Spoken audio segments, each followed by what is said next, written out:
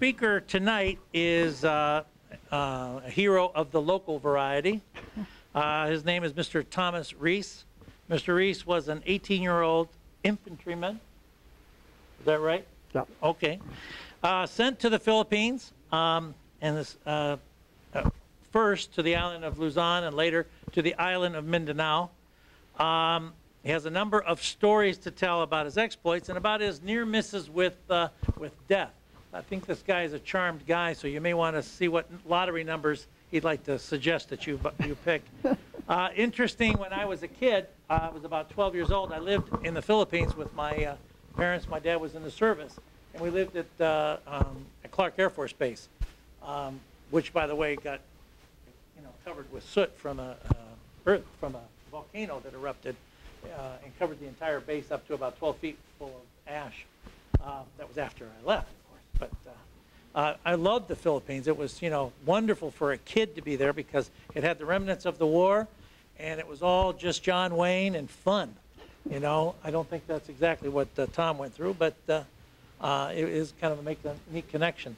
So without any uh, reserve, we'll go to Tom. Thank you. There you go. Thank you.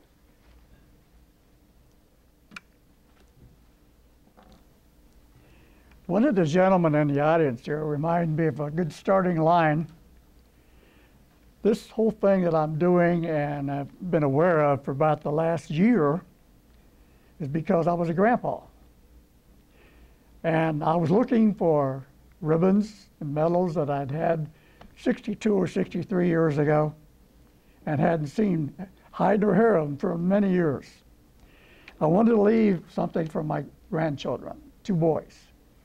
And so I started the search, and there wasn't anything in my house that vaguely resembled a, patch or metal or anything like that. So I decided I would call around, and I happened to be in the library that they were using uh, when this was built, and met a fellow by the name Burns. I had decided to read all of Tarzan's books the last time before I died. I'm 82 years old, and I probably would be one of the last remnants of the Battle of Mindanao, which was the very last battle of the war.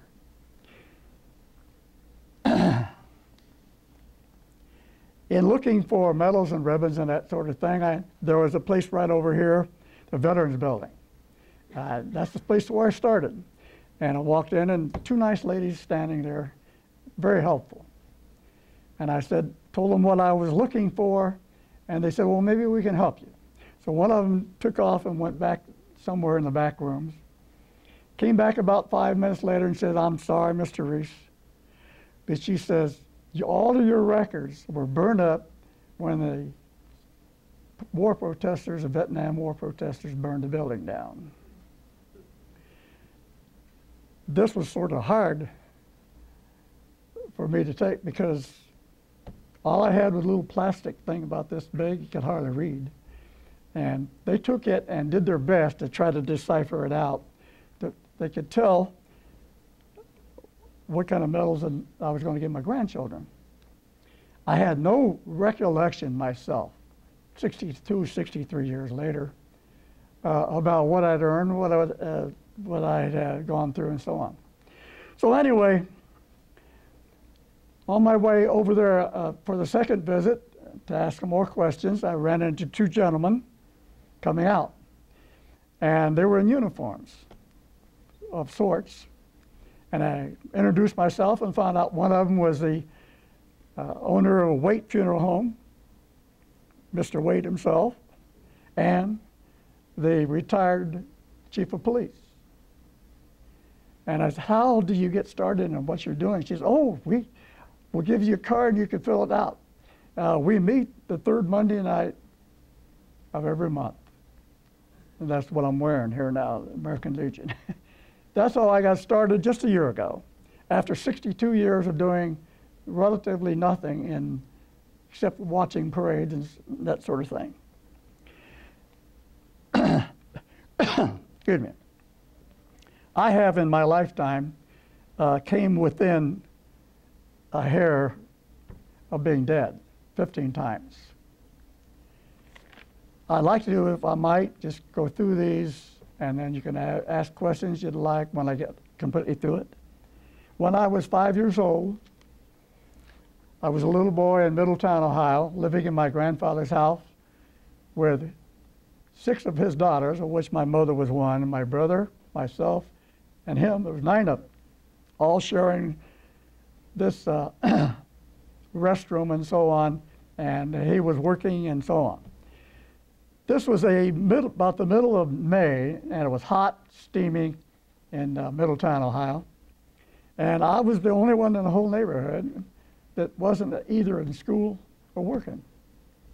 This gave an opportunist rapist an opportunity to get acquainted with me, lead me back into the, the alley, pretending he had marbles he wanted to show me. I grabbed hold of my wrist and took off towards a grade school, went around the front and into some bushes. He had a switchblade knife, which he opened up, and he said if I made a sound, he'd cut me. And things proceeded.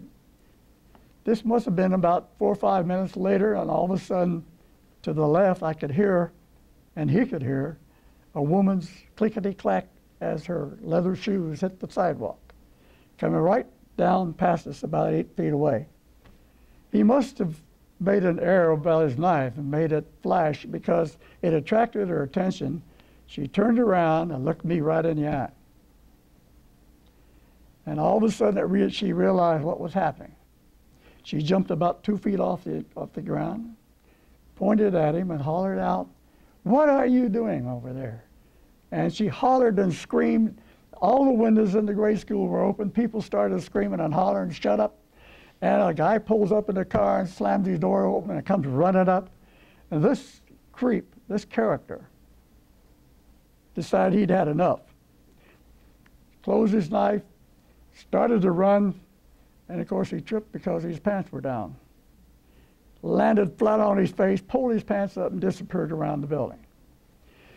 The girl walks up to me, and she looks at me and she says, Do I know you? And she said, Are you all right? And I said, I think so. And she lifted me up and uh, stood me up, put my clothes back on, and said, I know who you are. She said, You're little Tommy Reese, Ruth's nephew. I said, Yeah, well, live right over there at 707 Marietta Avenue, about two blocks away. So she escorted me home, went through the back door, and uh, my Aunt Ruth came running out, wondering what was going on. And this woman told her all about it. We went in the house, locked all the windows and all the doors, and she called my grandfather. He only worked about six blocks away, and it wasn't long till I could hear his Ford come roaring around the corners and squealing his tires, running into the house and asked. I was sitting on a, a stool in the living room, and first thing he asked is, "Are you all right, Tom?" And I said, "I guess so." he questioned me in detail and then got on the phone and called the police. And the chief of police came on the phone. He said, I think I know who this rascal is. I think he works for the uh, dry cleaning establishment right across from where your little boy said this happened. He said, I'll meet you over there. My grandfather, he said. So my grandfather took off, and he was coming out the back door when they got there. I won't tell you too much, except he was in the hospital in almost three months, what my grandfather did to him.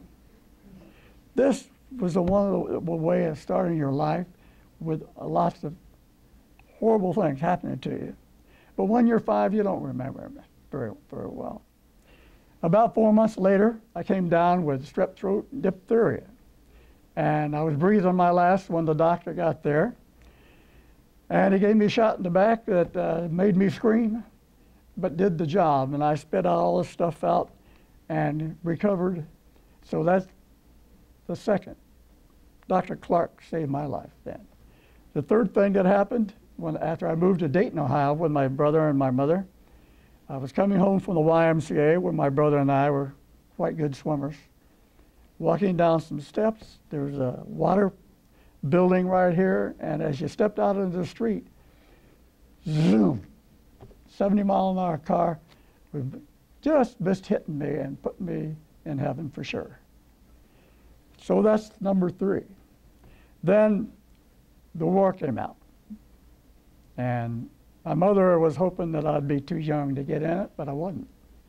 And when I was 18, I was drafted, sent to Camp Atterbury first, and then wound up over in uh, Roberts on the coast and took basic training and heavy weapons, water cooled, and 80 mortars.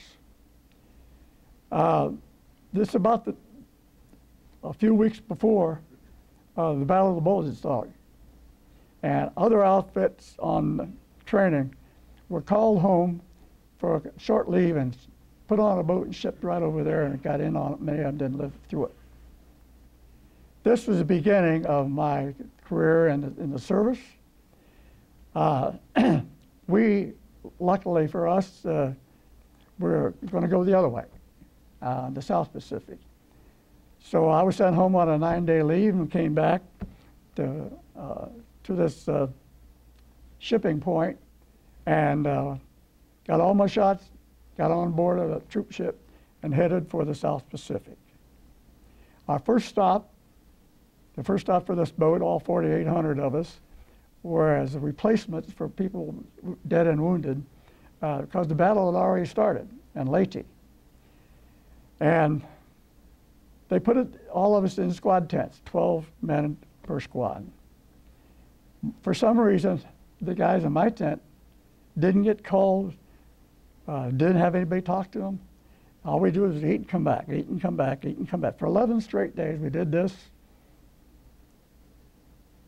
until the 12th day came around, the colonel came walking up to the, our tent and called us out in front. He said, I'm sorry, boys, we couldn't tell you anything because it could have really been a catastrophe. He said, one of your members came down with the measles, and we had to quarantine you guys in your tent. you know, by that time, some of my friends on board the boat were coming back in body bags and arms and legs missing. Uh, the next day, I thought, well, we're probably going to get our marching orders now after all this time, uh, delaying for 11 days and not knowing what was going on when another colonel came over and uh, said, any 18 year olds in this tent, please follow me. And there were about six of us. So we went over and sat, and I waited because my last name was Reese, like the peanut butter cup. I was the last guy. And he called me in and uh, I saluted and sat down. He said, uh, looked me right in the eye, and he said, Miss Private Reese, he says, you're not supposed to be here. What do you say to something like that? After all this stuff you've gone through on board that boat, all that training almost got in the Battle Bulge. And I said, Sir, he said there was an act of Congress about the time your boat was going underneath the, the Golden Gate Bridge that no more 18 year olds would be shipped overseas and no more 18 year olds, if they're over there, were to, to have combat assignments. And so he started asking me, Can you type? No. Can you do this? No. Can you do that? I finally stopped him. And I said, Kerner, I've done all this and I've done all this training to do a job, and I said, just as soon go wherever I was supposed to go originally. He said, I'll salute you on that. And I was sent back to the tent, and uh, the next day, we got our orders, and instead of winding up in Leyte, where there's still fighting going on, we were pre-shipped to Mindanao, which had just started, and they needed recruits there too. So we're on a big old LCT and uh, LCI, I guess it was, and came into Mindanao. Mindanao was the hottest, the most God-fearing hellhole, excuse me, uh, I'd ever been on, and ever hoped to be on It was right 300 miles from the equator, something like that, and it was just loaded with mosquitoes and heat and mosquitoes and heat and heat, slapping and everything. I got on a truck with some other guys that came off the LCI, and we drove back into the jungle. When suddenly we stopped, and uh, there's a deep voice off to the left says, "Is there anybody here from Ohio?" And I was. So I said, "Yes, sir." Don't don't say yes, sir. You're going to get me killed for sure. Come on over here. We got a bunch of Ohio guys here like to talk to you. So I did, and so for an hour or two, we shot the bull a little bit, until finally uh, they, they all left except the sergeant. He said, uh, where are you from in Ohio? I said, Dayton. He said, that's funny. That's strange. That's where I live. He says, what street did you live on? I said, McPherson. And he said, I'll be. He said, I live right around the corner at McDaniels.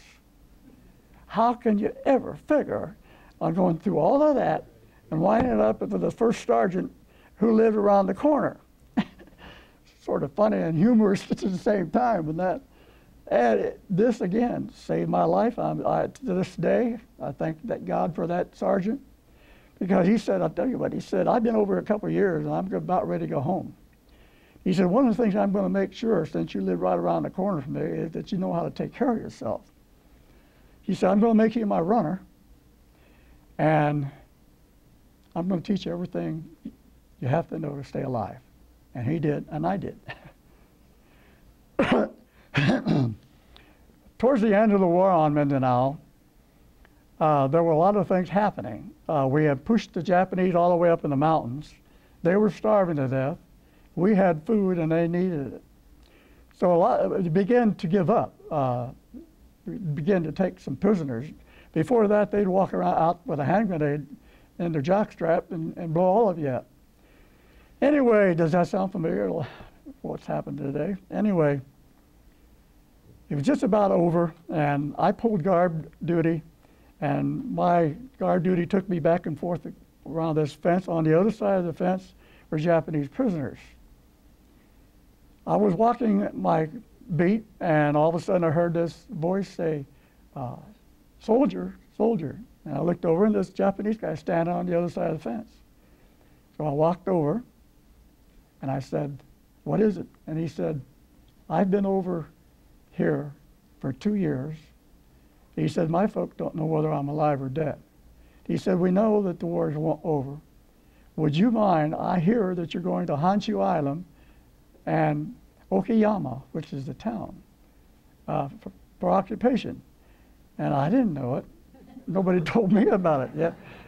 So uh, he, he wrote this Japanese stuff on a script, and I have put it in my pocket.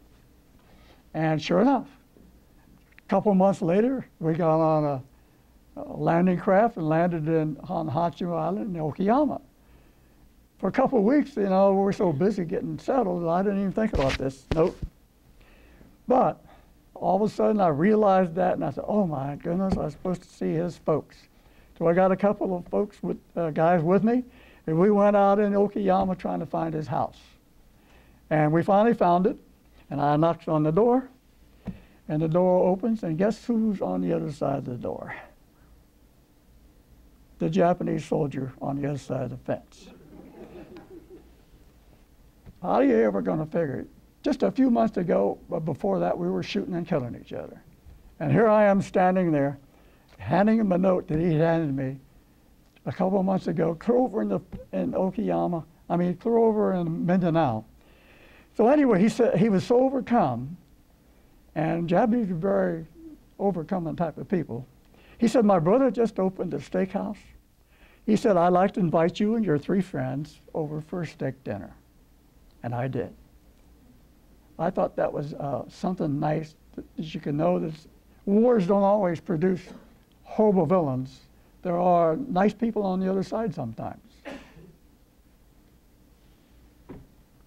The, uh, the other thing that happened to me during the time in the battle in Mindanao, as soon as the sergeant left, of course, I wound up carrying a couple of uh, canisters of machine gun bullets because that's what I trained in, a light machine gun and, and in uh, Camp Roberts. Uh, wasn't long until I was uh, second gunner, and it wasn't long until I was first gunner because guys are getting hit and killed and wounded. the, uh, the thing I can remember the most, which should never have happened, while I was a runner of this sergeant, he sent me over across the, the uh, way to take a note to somebody, to the captain, I guess. And uh, when I came back, we could hear artillery explosions, ours. And all of a sudden, six big 155 landed right in the middle where I stood, two minutes before, and killed about eight or nine guys, wounded about 10. And I can still hear that medic screaming and hollering, cursing John L. Lewis because they were on strike and they we needed the barrels on those guns to keep this from happening. Just a little negative thing about sometimes you think you're doing things well for your fellow and you're causing somebody to get killed across the ocean. There was another instance uh, in combat when a friend of mine, and we called him Okie because he's from Oklahoma, of course, and uh, he had some funny idea about combat. Uh, we just came, came out from our foxholes and uh, we're walking across this field of corn and uh, beat up branches and stuff like that when we heard boom, boom, boom, boom, six mortars going off. Theirs. Knee mortars. And they made a lot of noise when they end of it hit the ground or hit something. And the sergeant hollered, hit the dirt. And so we all hit the dirt except Okie. And oh, Okie stood there like this, perfectly still. They were on their way. We knew they were who they were shooting at too. And boom, boom, boom, boom, boom, boom, boom, boom. All six of them landed, all in between us. And oh, Okie's still standing there, didn't get a scratch. None of us, uh, none of us got scratched either. And it's one of those life-saving moments when somebody's trying to kill you, they didn't do too good a job at it. We were fighting uh, in Mindanao uh, some of the toughest uh, Japanese, the, the Japanese Marines. They had to be six feet to get in it, and they were ferocious fighters. The war years were soon over. I came home.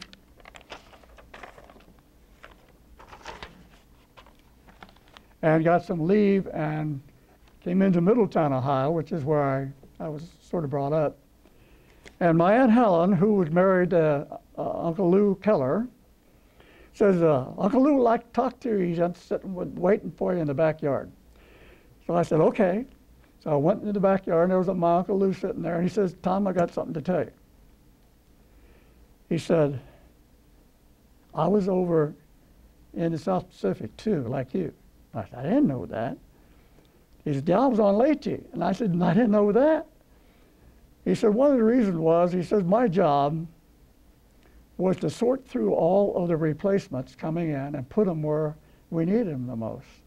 And he said, can you imagine what happened to me when my little nephew's papers came across my desk? What do I do? He said, I held those things for two days and I finally decided not to play God anymore and let him go on through. I still think that he was a measles guy. the reason we didn't get sent anywhere for 11 days, but he would never admit it or never talk about it after that little party.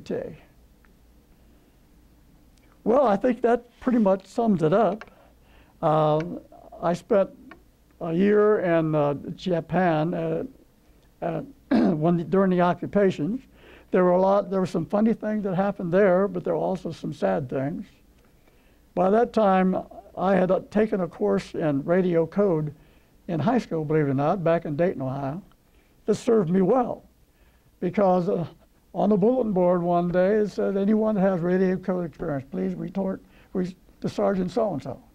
So I did. And so he said, did I, did I, did? I said, yes, sir. R, R, R. anyway, if you know the radio code, you know that did audit is a R.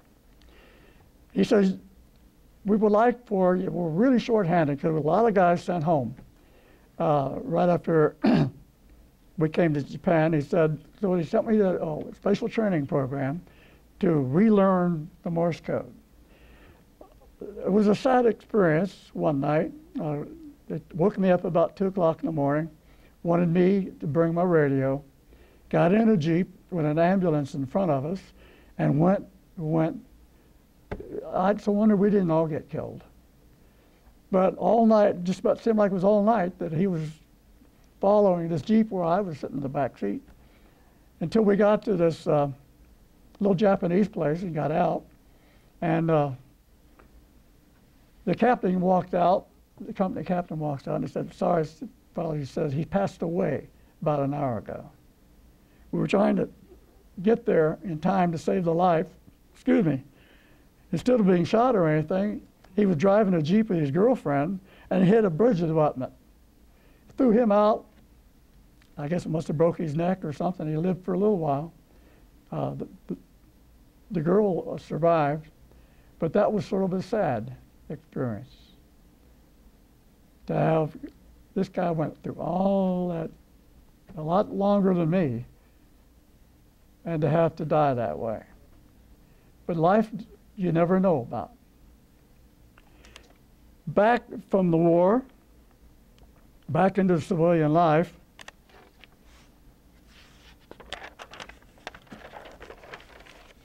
when I was a student at George Williams College in Chicago with the YMCA, I put enough money together to buy an old clunker. And it was a lot easier than standing on that streetcar with all those people trying to get to a, part-time job with YMCA. So anyway, I did. And uh, another, sitting in the cafeteria one day, and a young guy walks up. Later on, I, this my best friend. His name was Jim Livey. And he said, "Here, uh, you and I work, worked in the same YMCA." He said, "You mind if I hitch the ride for you?" He said, "I'll buy you some gas." I said, "Oh, sure, okay." So I met him uh, at the door, and we hopped in my car and we went off to work. Uh, the YMCA was called the Southern YMCA. We no more and got inside, and I, I in my bathing suit, and he was working with a high, high white group, when bam, bam, bam, bam. One of the most ferocious explosions somewhere outside. I put on my clothes real quick and ran down like everybody else. We off in the distance, we see the huge fireballs going up. About 10 minutes later, someone got word through the radio or a friend that a streetcar and a double tanker gasoline truck had collided. And there were over 200 people killed, most of them on the streetcar. You couldn't even tell they were there. It was like a matchstick. But the reason I'm telling the story is we, we would have been on that streetcar and not be alive if it wasn't for me driving a car, an old clunk. And uh, from that day on, Jim Libby, one of my best friends too, because he would have been on that one for sure. There are a couple other close calls. Later on, when I was 46, and I'd had uh, was working for the YMCA in Cleveland, and I was an avid golfer. So one day, uh, my pastor and I were out right here out here at Royal Crest. I don't know whether you know where it is on 82 in Strongsville. And I was uh, I was out by myself, stupid guy that I was, and uh, it was cold that day,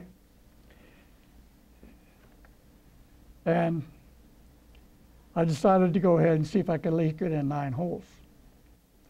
I got to about the third hole and uh, I hit one in the rod in the lake.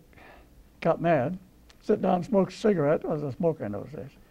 Got up, hit another one in the lake, and sat down, smoked another cigarette, and hit one 300 yards and almost landed on the green.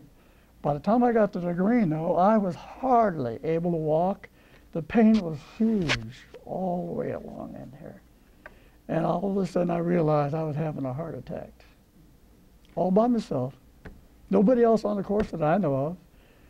I ha- happened to be at that point where there were five greens and tees that all sort of came together. Maybe you know where that is on the first nine. I sat down. It was I pulled my jacket over me. I didn't dress warm enough. And I looked over and I could see a guy on a tractor cutting the grass, too far away to, for him to hear me. I couldn't shout very loud anyway. If I had walked in, I was a dead duck. I knew enough about the human body to know that I never would have made it.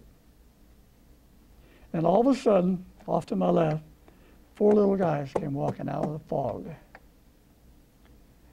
And I got up, just able to get up, just to get up and stagger over to them. Told them I thought I was having a heart attack. One under here and one under here, and they took me back and sat me down and on a bench. One of them took, hail, hightailed to the guy that was cutting grass. Within a minute, they had a golf cart out there to haul me in. As soon as I got in where it was nice and warm, I felt better, but I was still in desperate pain. They had already called the ambulance, and within a matter of minutes, the ambulance was there, and I hailed it off to Southwest um, Hospital. You probably know where that is if you're from this area. The next spring, when I was feeling better, I kept asking the doctor when it was time I could go out and play golf again. Dummy. Anyway, I thought, well, he says, as long as you stay, you run a cart, you'd be probably okay. Take it easy. So I did, and call up the pastor again. And we went to the same golf course. I really wanted to go in there and thank those people for taking good care of me and saving my life.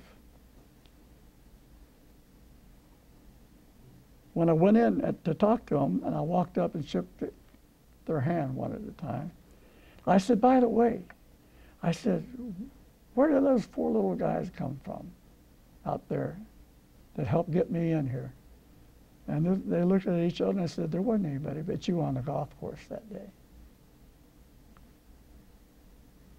Ever since then, I've wondered, were they real or were they unreal? I'd know I didn't walk in. I would be dead for sure. And unfortunately, the guy that was cutting grass passed away that year. He was an older man. So there wasn't really any way I could connect it.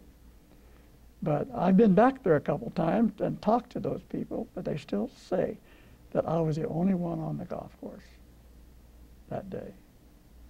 So you can be in danger anywhere, anytime. And uh, I'm glad that you're willing to sit there and listen to me. As I unloaded, I haven't ta- talked about or said too much about these things for many, many years. What started me off again? Uh, I've been a member of the American Legion now for a year, and they just voted me in as their chaplain. Thank you.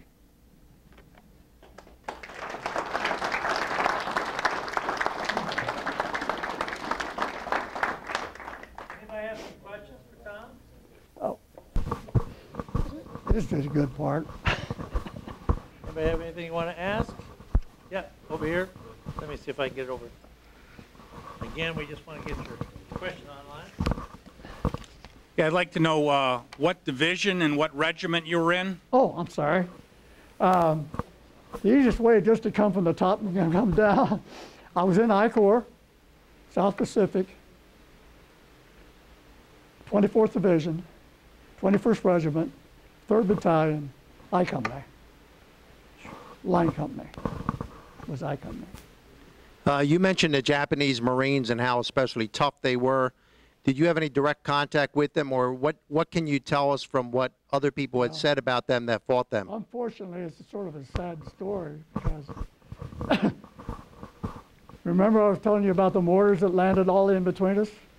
Well, right behind us, uh, where we had dug in, there was about nine Japanese Marines dead. Been there for a couple days. Not something you like to remember. And they were, I'm sure they were.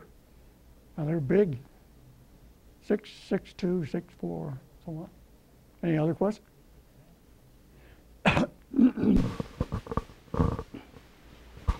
Um, you said that the sergeant that, uh, on the island told you some things to keep you alive. Can you elaborate on that a little bit? What did he exactly tell you? What were the things that you needed to know to stay I'm alive? sorry, I- I- You you had mentioned that the sergeant took you aside since you were an Ohio boy and lived just around the corner from him. You Oh, said that he told you, yeah. yeah. he told you some things that would would help you stay alive on the island. Do you remember any of those exact things? What he Oh. told you? You'll be surprised the things that a, a man that's been in combat for two years knows. uh, yeah, I hardly where to begin. Uh, how to dig the hole, two by two by six, and always dig it. He says, because you never know uh, when a sniper's going to zero in on you, and you got to be below ground if you expect to stay alive. That's at night, of course. Uh, what we did in the jungles, you only see sometimes 15 feet. Uh, we would clear the heavy stuff out, and then we would dig uh, perimeter defense. Uh, the two by two by four sixes, like a spoke on a wheel, so you could shoot in any direction. And uh, sometimes we did. I can remember one sort of laughable thing. You, when you, you go to sleep at night, you leave one guy out every three awake. You also have gone out and put hand grenades back in the box with a pin out. You tie a little wire on them, you go to the next one, all the way around that perimeter. Anything that's out there that them is going to go boom. And it's a warning boom. Uh, when that happens, everybody gets up and starts shooting. And the funny thing that about this one night, this same Okie guy had gone out to use the restroom and had he tripped one of those hand grenades and he was running like crazy trying to beat them all as they came out of their boxes.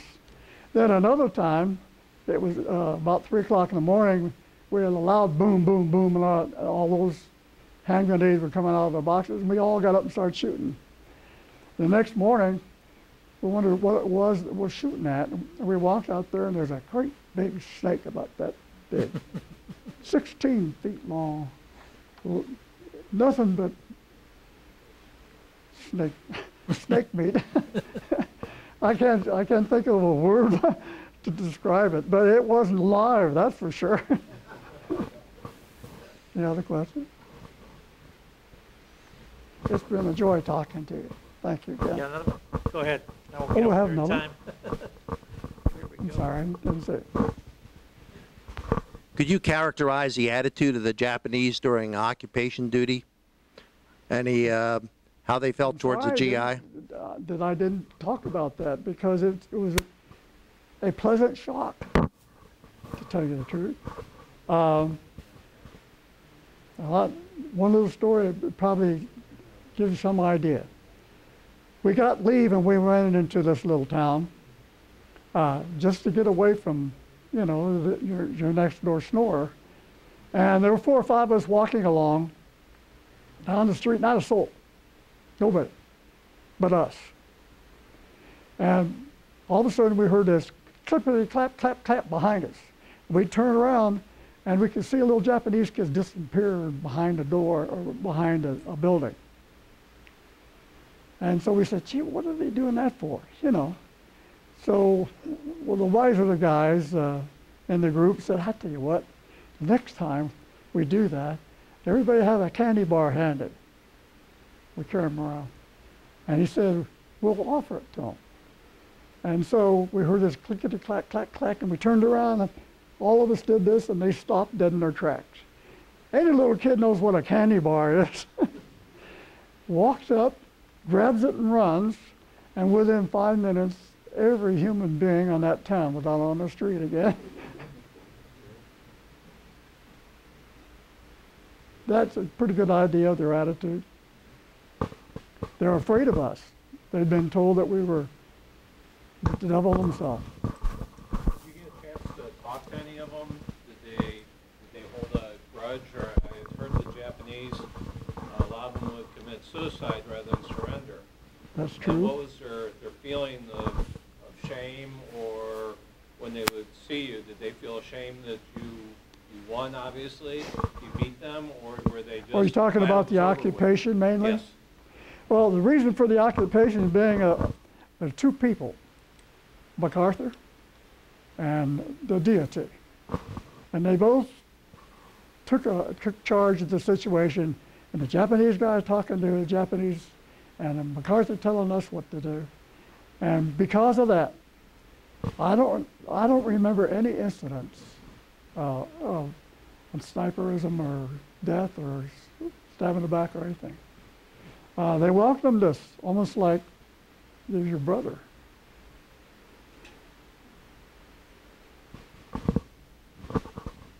I was glad I took that note after it was all over. Any other questions? Okay, well, Tom, thank you very much.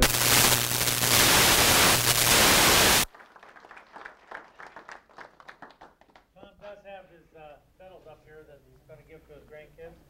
How you Yeah. going to give them to your grandkids? You got more than one? Two. Two? I got a 19-year-old and a, and a nine-year-old. Oh, gosh, okay. Uh, the 19-year-old has just finished basic training with the Air National Guard Ah. and is in Ohio University.